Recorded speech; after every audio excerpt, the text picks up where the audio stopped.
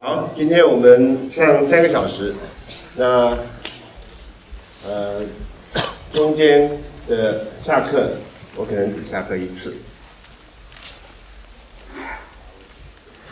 压缩一点时间补一点课。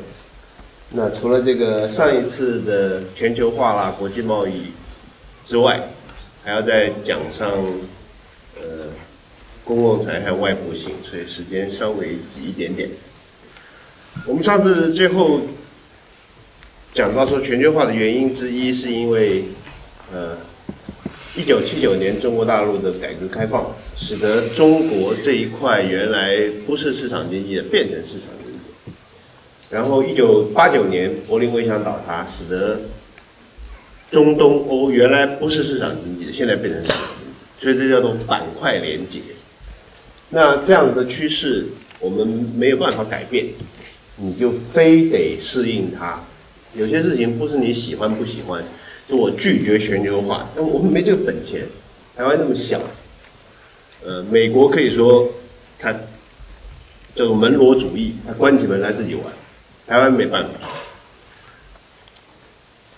那但是因为我们这个板块连接最连接最大的就是中国。所以台湾和那边是麻烦的，就是一方面我们拒绝不了全球化，但是另外一方面，如果我们迎接全球化，第一个第一个面对的，你不能说迎接的，第一个面对的就是中国大陆那个板块，那我们之间又有恩怨情仇，所以这是这是台湾非常呃不幸运的地方。但你换个角度来讲，我们也算是幸运，至少我们邻居不像北韩。如果我们的邻居像北韩，那金小胖，那今天我们可能更麻烦一点，那个是疯子一样。所以这是有利有弊。Anyway，板块形成之后，整个市场就连起来，所以它可以从市场面看，也可以从工厂面看，所以它是一个复杂的事情。呃，尤其现在产业越来越多的科技产业，所以你从市场面看，它是它是中国大陆是一个很大的市场。如果从工厂面看，中国大陆是一个很大的工厂。等到它科技发展慢慢慢慢成熟呢，那中国大陆又是一个很大的研发基地。如果你从历史的恩怨性的看，那个地方就不是个东西。所以复杂的很，呃，这个不是，其实不是我们一门一堂课所能够讲讲得完的，不是一门课所能够讲得完，呃，甚至不是一个教授终其一生能够处理的东西。这是一个复杂的，可是你看有一点，要有一点基本观念，这是躲不掉的事情。然后那个地方呢，既是市场又是工厂，可能也牵涉到研发基地，那你怎么办？然后你只好面对它，不能够拒绝它。所以你怎么办？你要在这个限制之下去做你的取舍。那全球化有它的负面的冲击，那是必然的。如果全球化没有负面冲击，就不会有那么多全全世界各地的抗议全球化。其实他们面对的问题跟我们一样，他们面对全球化拒绝不了，那只好抗议啊。台湾也是一样，台湾也面对全球化拒绝不了，所以我们我们有些时候也在反弹呢，也在抗议。所以我自己的态度是这样的，就是，呃，基本上你既然有一个挑战，你是躲避不了，那你就勇敢的面对它。但是呢，你对于面对它所可能遇到的 risk concerns，就是风险面，你要多一些评估和想象。其实我们人生也是这样的，也许你的家庭有老爸老妈的奇怪的压力等等。你就躲，你就闪不掉，你没有办法选呢，所以每个人都是这样子过过来，国家也也是一样，呃，这是，所以就勇敢的面对它，对 risk concern 多一点，呃，努力。还有一个东西呢，就是你的态度啊，是要，我把它叫做，这有没有写？我把它叫做积极的保守主义。Proactive conservatism，什么叫 proactive conservatism？讲个笑话，我要讲他口疾，所以如果你的朋友或者你啊是口疾，我没有讥讥笑你的意思，因为是笑话。他说有一个口疾的人啊，去当那个销售员，当 sales，结果销售冠军，圣经的销售员，他居然销售冠军。结果那个他所有的同才都搞不懂为什么，你话都结结巴巴讲不清楚，口技你怎么会推销圣经是冠军呢？所以那个推销员是口技，你就知道他有多多弱势，对不对？他在这个行业有多弱势。那你可不可以分享一下你的经验？结果这个人就说，我我我就跟跟对对对对方说说。你你不不不不买没没关系没关系，我我一一个一个字一一个字字字念念给你，人家人家吓得立刻买，你好了好了不要这样，我立刻买，所以你有什么奇怪的本事啊？你自己不知道的，所以。我是不知道，当然是笑话。我不知道有什么人能够能够把自己的那个缺点如此的包装。所以，呃，像那个四年前、五年前的太阳花学运，呃，它有一些背景。那一些背景呢，呃，基本上是台湾跟中国大陆接触之后，有种种的负面因子。所以他不希望 X 法或者是将来的福茂再加深这个负面的冲击吧，啊，差不多背景是这样的。负面冲击包括什么呢？包括我们前几天讲的，呃，我们的薪资啊，大概二十年没有涨。这薪资这二十年没有涨，跟中国大陆有没有关系呢？我不能说它没有关系，大概是有关系。其中一个很大的原因就是。我们上次讲，我们以前讲过的 factor price equalization，对于同等的工资，对于同职的工资，工人同职的工人，他们的薪水，台湾最后要和中国大陆一样。那因为中国大陆人多，所以有一些那个工资慢慢就被拉平。当然，这个故事不完全是一样，因为台湾的公司被拉平，是因为有一大堆的工厂把工厂从台湾移到中国大陆。因为那边便宜嘛，所以它那个 factor price equalization 比原来文件上讲的说，因为交易商品而使得生产要素的报酬趋于一致这不一样。因为交易商品而拉平生产要素的报酬是一种一种过程，但是你把工厂直接移到中国大陆，那是更直接。为什么更直接呢？因为呃，我我原来讲过是台湾。曾经大概十五年前是全世界手提电脑，呃百分之九十九的代工所。如果那些工厂都在台湾的话，那这些代工厂就要聘一大堆的工人，所以我们的 labor demand 就比较强。我们的 labor demand 强，工资就会高嘛，对不对？你看看 demand 是这样的话，demand 越多，工资就越高。当这些工厂移到中国大陆之后，工厂就不要聘人了。所以人保电脑在台湾没有任何一家工厂，人保和广达是两家全世界最大的电脑代工厂，手机电脑。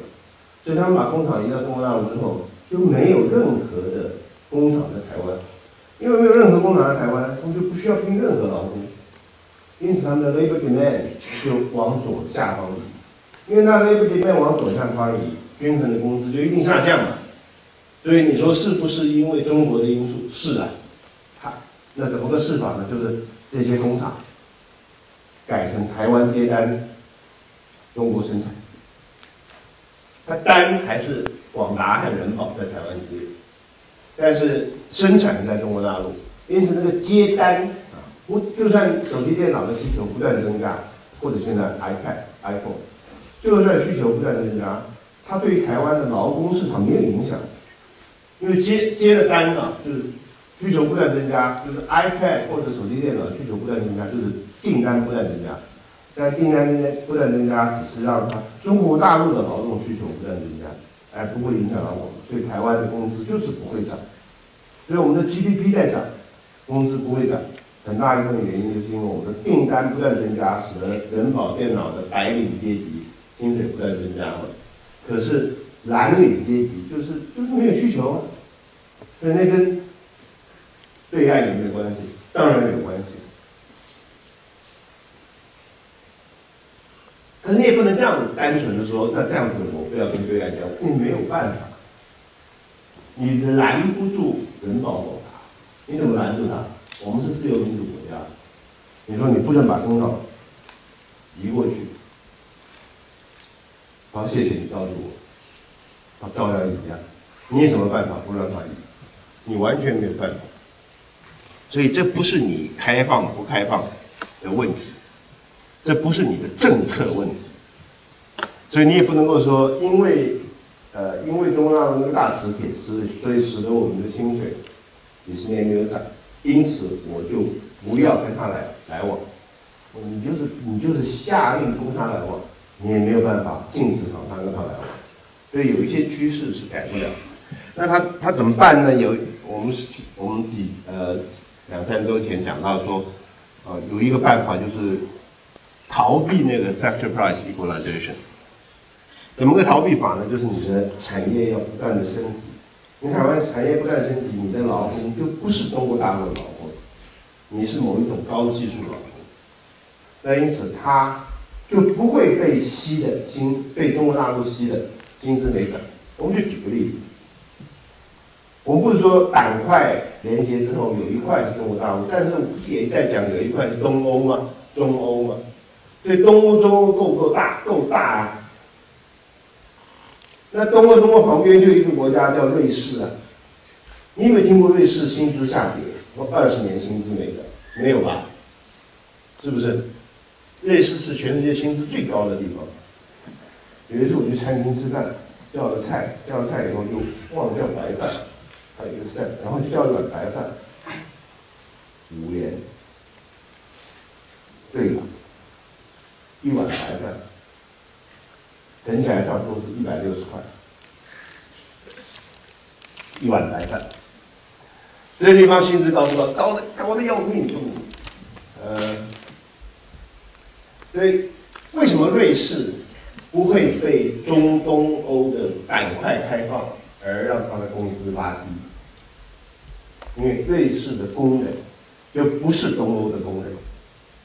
他们的技术含量，他们的产业结构就跟中东欧新开放的什么匈牙利、捷克就是不一样，所以你要把你的国家翻身，从台湾翻成瑞士的话，你就不太会受那个板块连接的冲击。但你如果翻的不很成功，就是你还是跟它有一点类似，你的产业没有升级的话，那你就会被它影响很大。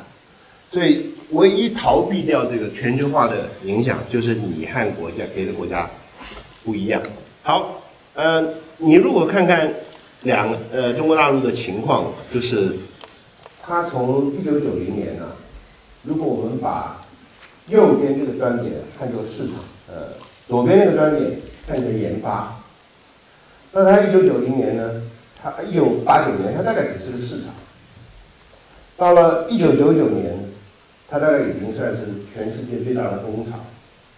到了差不多两千年到现在，它不但是有一些产业是市场，那市场当然还在；有一些产业呢，它是工厂，它也有很多产业研发到了相当，它把它的研发，所以它不断的往前推了。所以也是因为如此，它还有一点点能耐去。跟美国喊这个 Made in China 2025，所以我要在十个重要的科技产业跟那个老美去竞争。呃，所以它往不断的，因为它大，人又多，那个人多就有一个好处，就是人多那个极端值就会很极端，所以他聪明的人是是很容易发现极为聪明的人。那极为聪明的人要去研发上面往上突破，比那个不太聪明的人要容易嘛？所以他偶尔就会有一些非常非常厉害的人出来。但是客观上来讲，这个习近平说，习近平是二零一五年说啊，他要他要在 Made in China 2025十个产业，呃，跟美国去拼。我认为是很笨。一九九二年，邓小平南巡的时候说，因为他好像刚去美国访问过一趟。一九九二，记得一九九二，一九九二他南巡的时候，他去美国访问一趟，他回来说，中国他要在韬光养晦十年，呃不不，韬光养晦一阵子，他没有说多久。因为韬光养晦就是沉潜，不要说大话。那习近平就说，他在二零一五年说我要。呃，等于说我要跟老美一拼高下，我认为他早讲了，至少早讲了十年，他还完全没这个本事，所以他大概只是我刚刚说他非常靠，他研发上面已经非常领先，他再做十年了，他大概才有本事到这里。阿玛尼干诺在这里，所以你要跟那个阿玛尼干诺竞争，你可能要到非常非常。偏已经研发非常非常领先的地步，你才那个才能够跟他竞争。你实力不够不在不够的时候，就跟说我要跟你拼了，那就只有一种下场。那其实是蛮蠢的。所以全球化最难处理的，就是老共的问题。好，后面呃这个星期最后一个 lecture 就是要讲到政府。看市场，那什么时候政府可以介入市场？我们我们曾经讲过，说什么叫做中国大陆的改革开放？改革开放最最准确的字就是，它把国家主导慢慢推向市场主导。原来是什么东西都是国家管，然后后来变成市场，这这是最精准的字。他原来是国家管到什么地步呢？啊，你是，其实你们年轻人啊，我或者我认为台湾几乎所有的人，最最需要恶补的，就是对中国共产党的了解。你们对共产党的了解几乎是零。那你要你要去了解这个这个大这个怪物。你才知道怎么处理这个怪物，跟跟怪物共存的不容易的。呃，所以中国大陆是从一九四九年毛泽东开始掌权嘛，一直到一九七几年他死掉了，七六年，到七七九七九年才是中国大陆改革开放，文革才正式结束。所以四九年到七九年这三十年，中国大陆是乱七八糟，是乱七八糟。他怎么个乱七八糟法呢？他曾经有这个土地改革的斗争，就是土改斗争，死两百万人，这是保守估计，这是毛泽东自己的估计，那是不是保守估计？应该是吧？他说死两百万人，这死两百万人几乎把。地主啊，斗光杀光。那怎么个斗光杀光法？那从有冤案、错案、报仇，什么都有。那大部分的人是被拖出去游街啊、斗争啊，有的人然后是关到监狱里面受不了苦就自杀死了。一堆两百万人，台湾就假设台湾两千两百万人的话，就搞掉了十一分之一，很恐怖的，就是两百万人，然后。我说它是集体控制的一个体系，最明显就是呃大跃进和这个土法炼钢。什么叫大跃进呢？毛泽东说哈，毛泽东说，耕田啊要密耕，密集的密。所以本来说，假设一个一公尺乘一公尺的平方，大家插秧，就比如说插九根秧，假设啊，他说这样子不密。那中间呢，不是空的吗？要多密，所以那个那个地方官员和农民就被迫去插很密的秧，插很密的秧，那个秧就活不了。他说：“你插两倍的秧，不就两倍的稻作吗？”那如果有这么简单的事情，那些那些农民几千年来都是白痴吗？但是没有人敢反抗他，所以大家就逆差，然后逆差说哈，呃，说产量就会增加，增加到什么地步呢？他还创一个口号，就是说，呃，胆量有多大，产量就会增加多大。产量跟胆量有关系，也没有人敢反抗他。然后大家为了奉承他，就不断的报说：“哎呀，这个湖南的什么地方啊，这个产量今年要增加几倍。呃，什么广东的哪里呢，产量增加几倍，就全部都往上报。因为往上报，所以他要跟中央说：假设税收是抽百分之十五，那假设原来估计一百万，你就要抽十五万。”我说，因为要加倍，就变两百万，我就要缴三十万的粮上去嘛。但那个地方根本就没有三十万的粮，所以他硬抽了三十万两奖上去，那个老百姓就饿死了。饿死多少人呢？六千万人，这就是保守估计。饿死六千万人，然后只要有啊不同的意见就对斗，斗。你你要我一言以蔽之描述毛泽东这个人，反正我也不敢去香港。我认为狂犬病的患者，就是一个病态到啊，以斗争为喜乐的狂犬病患者。然后这个呃，死了六千万人，反正斗这个他的所有的战友全给他斗光了，彭德怀了，什么林彪，一个个给他斗光了。斗死的，我想差不多整理起来两大方向。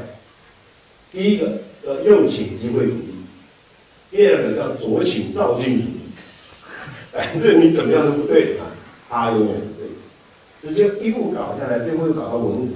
文革因为要斗掉一群人，所以就发动学生，学生去把各个。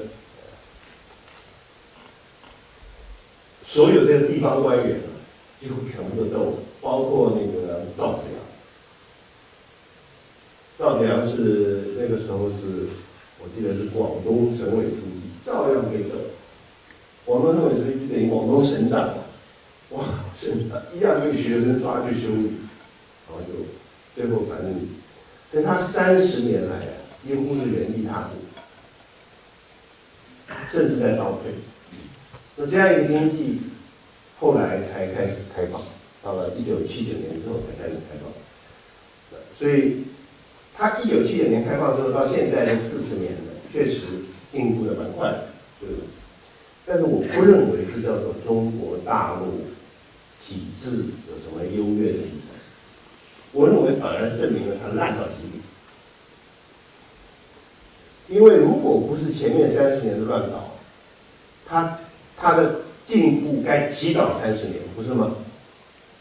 那哪有一个国家可以饿死六千万人？这叫什么国家？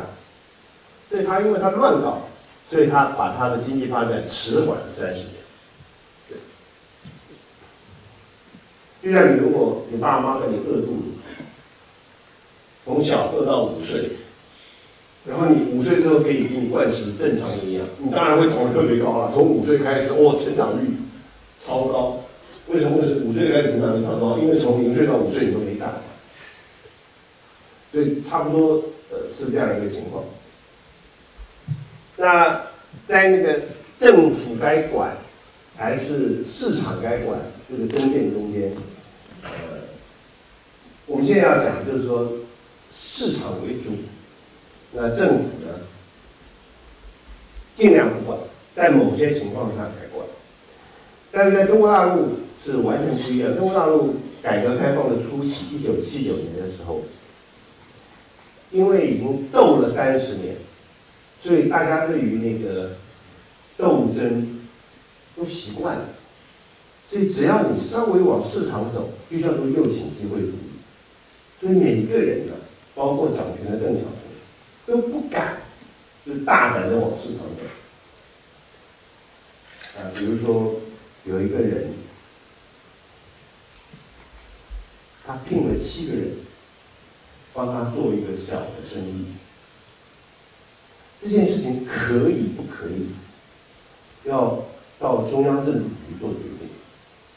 哎，聘七个人，你你清大的随便餐厅都聘不止七个人，就聘七个人，就叫做资本主义。那叫做资本主义又请机会主义，要被斗的。所以聘七个人这件事情要赵子阳拍板才变成挂号可以，原来就是不可以。那你到现在到了马云，到了那个郭台铭，郭台铭的员工有一百万人，到了这个地步，那你看看从一九七九年到现在，那经过多少的折腾啊！才能够慢慢慢慢把市场化开放，所以那个地方啊，是一个以政治为主、以市场极为之微末节的地方。那所有的欧美社会呢，大概是以市场为主，然后政治是极为例外的地方，所以你要把它区分清楚。我们今天讲的就是一个市场为主，然后那个政府的手介入是极为例外。可是你要你要了解这个传统，为什么？为什么西方那么注重市场？这当然是经济学最基本的课题。那这个最基经济学最基本的课题就是 Alan Smith。所以今天讲的东西呢，是 Alan Smith 的核心论述。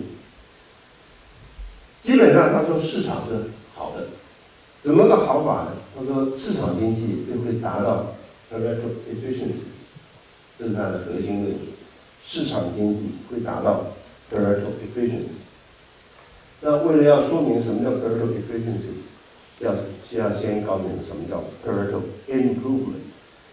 什么叫 Pareto improvement 呢？说如果有某一种资源分配的状态，能能做对应的资源分配状态，我们能够做某种重分配，在不使人受损的前提下，改善部分人的福祉，那这种重分配就叫做 Pareto improvement。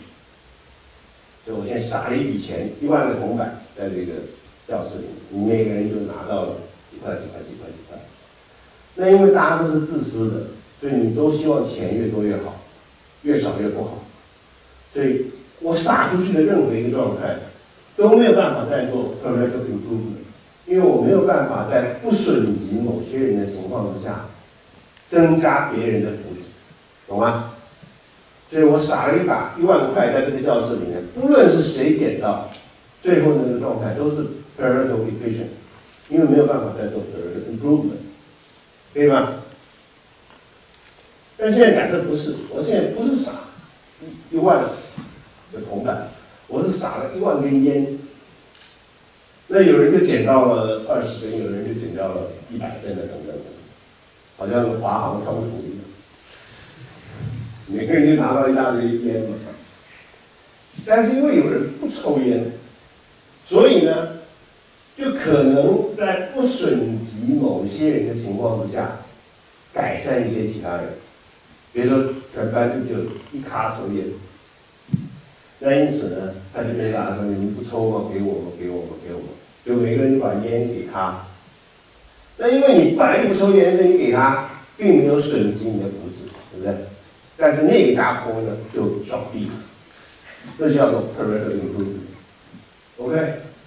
所以。撒烟就很可能还有 Pareto improvement 的空间，烟的那个分布状态就有可能有 Pareto improvement 的空间，那铜板就没有。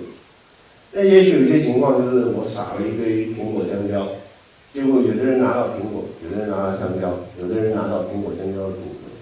但拿到苹果的人也许想吃香蕉，拿到香蕉的人也许想吃苹果，他们就换一下，这也是 Pareto improvement。OK。所以，什么叫 Pareto improvement？就是某一个资源分配状态，我把它重新分配一下，能够使得没有人受损，每个人都得利，或者有一部分的人得利，那叫做 Pareto improvement。所以 Pareto improvement 叫做就是皆大欢喜的意思。能够做 Pareto improvement，就是让这边的人皆大欢喜，没有人不欢喜，谓之。Pareto improvement。如果那个资源分配状态是再也没办法做 Pareto improvement，那就是 Pareto efficient。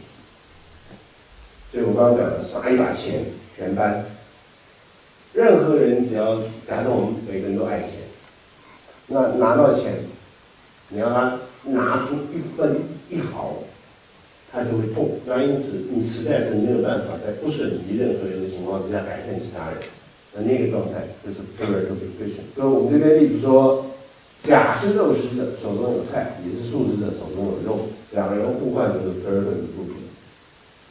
那如果甲有肉，乙有菜，他就没有办法重新分配，而使得任何一个人更好。那个就是 Pareto efficient。好，这应该清楚了吧？